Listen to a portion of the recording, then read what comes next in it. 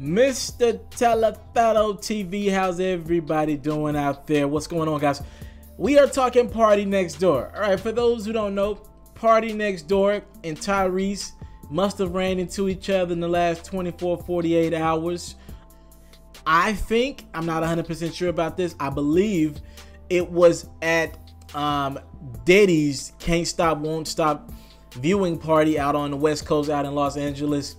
And Tyrese obviously has a home out there. I think Party Next Door has a home out there as well. For those who don't know who Party Next Door is, one of the biggest songwriters in the game. A lot of what you hear from a lot of top talents, including Drizzy Drake, has a lot of Party Next Door's influence on it. A lot of people people believe uh, Party Next Door is Drake's exclusive writer. When Drake needs a hit, he goes straight to Party Next Door. I'm not saying that. That's what a lot of people believe, though, in the industry. With that being said, Party Next Door has been somebody who has not been able to get his own career off the ground like you will want it. Uh, dope talent. His records just don't stick. He puts great out great records. I'm actually listening to an EP that he put out on SoundCloud a, a week or two ago, and I like it. But it's just the fact that it's it's missing some sort of delivery that he just doesn't have to me right now. And um, salute the PND. He ran into Tyrese out there. They both have cribs out there, like I said.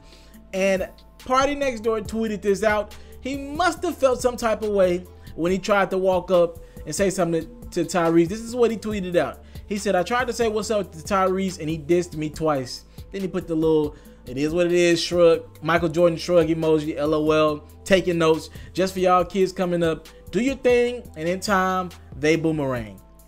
Love. What is he saying? All right, first and foremost, I think it's some of the most emotional shit I've ever seen in my life. Why are grown men tweeting about other grown men not knowing him? And why does it matter, party next door? I don't know your age, but I would imagine you're in the late 20s or mid 20s. Tyrese is about 40, and Tyrese has always spoke about how he does not um, want to be in the youth or how he does not want to um, consider himself part of the youth. By the way, Party Next Door is 23 years old. Why are you upset that Tyrese you know, he say he makes grown folks music. Why are you upset about somebody that's what is Tyrese what borderline 40 years old? Why you are you upset that he does not know who you is? It doesn't say anything about you. Tyrese is 38 by the way. It doesn't say anything about you. It just says there's a 15 year age gap between the two and your music maybe is not for Tyrese. I'm pretty sure he knows about a lot of young talents. Maybe you just haven't crossed the brother's radar yet. Tyrese does do movies. He is a part of the Fast and Furious uh series, and he has other things in the horizon, and he's an artist in himself, and he's on television. I think the brother has a lot going on.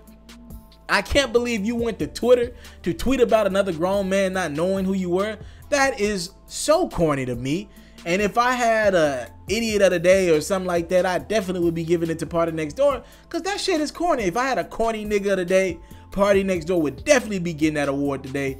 Come on, my brother. Who cares who knows you? The fact is, you got thousands, if not millions, of fans who rock with your music, who rock with your talent. And I believe these are some of the things that's holding Party Next Door back. I'm not gonna lie, I don't know a lot about Party Next Door, but I'm starting to learn that he doesn't really have the confidence in himself. Great talent, but it seems as though he lacks the confidence and delivery in himself. Like, if you're thinking about stuff like this, if you're tweeting about people not knowing you in this world where people are dying, getting killed, and so much real shit going on, and you worried about that marginal shit at best, it seems as though that's Party Next Door's resume, or that's what he's known for to a degree so far. And he's young. Me and him are the same age. He's young and he has time to grow.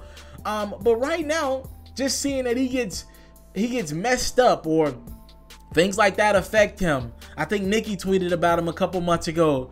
Party, it's cool, my brother. One person don't know you. As long as the fans know you, I think that's all that matters.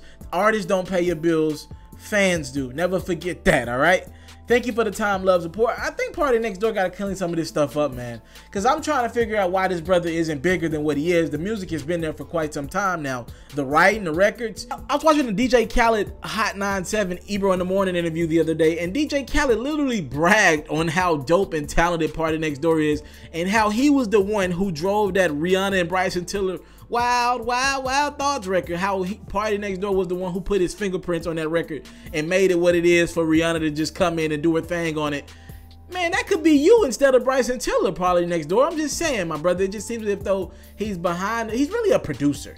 It's just really a producer who happens to sing from time to time. Because the production, everything is there. It just seems as if though he's having problems becoming an on-air talent, all right, and becoming a, a R&B star. That's my opinion on that. Who cares if Tyrese knows you? Thank you for the time, love, support. What do you think about Party Next Door getting upset because Tyrese didn't know who he was in public? He tried to say hello to him, and he didn't want to rock with you. He didn't know who you were in public. Talk to me in the comment box below. Subscribe to my channel for more exclusive content like this. Thank you for the time, love, support. Don't take it granted. Salute.